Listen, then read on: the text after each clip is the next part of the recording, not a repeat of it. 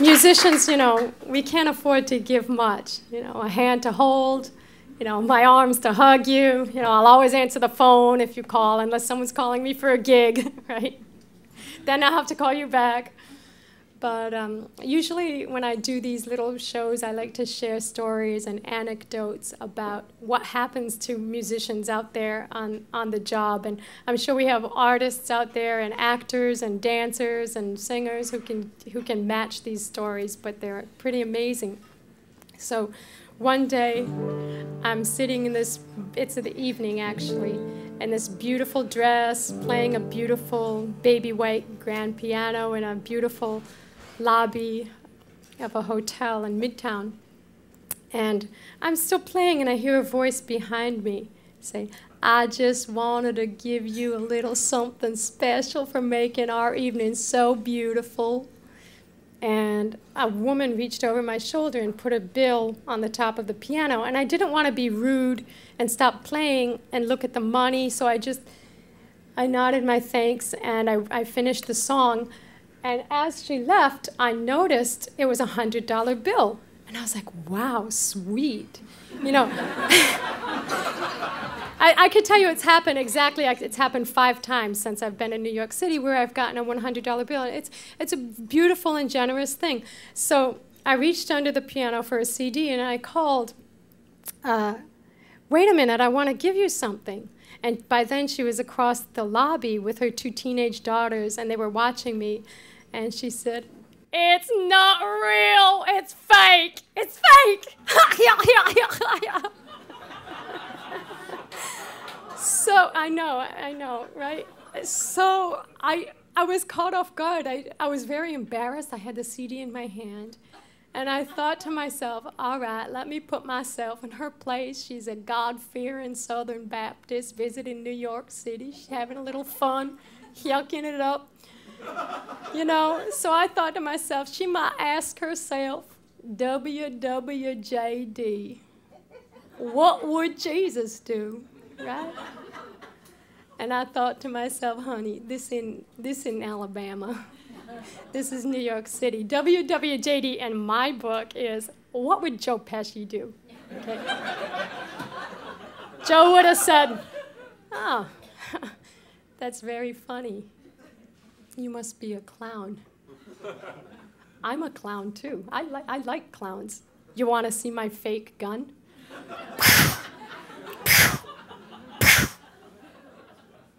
I'm a lion clown.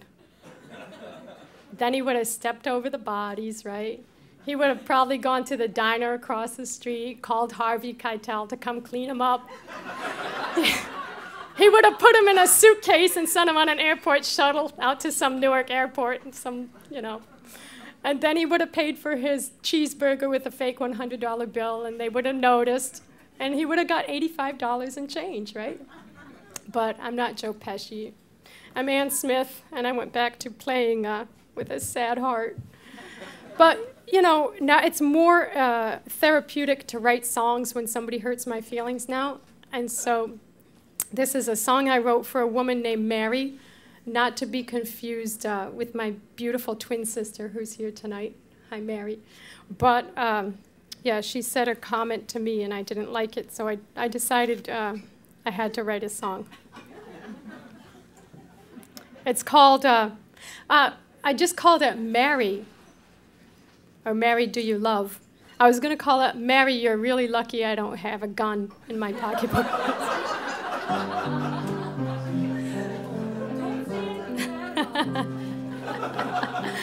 Always say nice things to my face.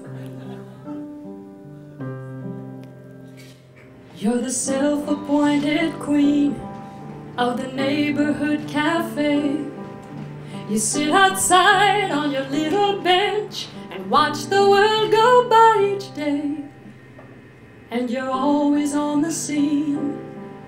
Should anyone fall down, you're a puzzle to me with your crosswords and angry frown.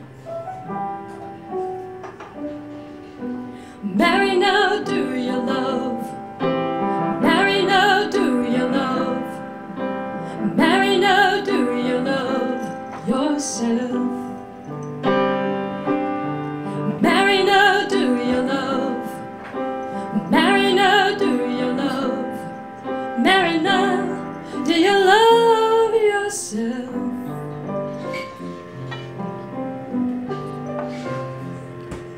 Well, I heard you got a man that he works with iron and steel. There's a lesson to be learned in this, but it's not my place to reveal.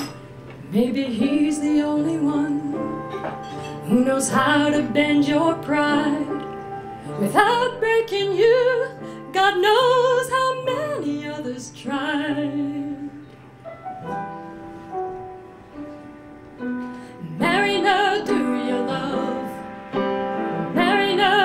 You love? Mariner, do you love yourself? Mariner, do you love? Mariner, do you love? Mariner, do you love yourself? When the sun goes down on the neighborhood cafe, the queen must leave her kingdom for the day. As you make your way back home, the chill is in the air. The summer seems so far away, and soon the trees will all be bare. You're lost inside your thoughts. You scarcely recognize that your face in the glass is crying teardrops from your eyes.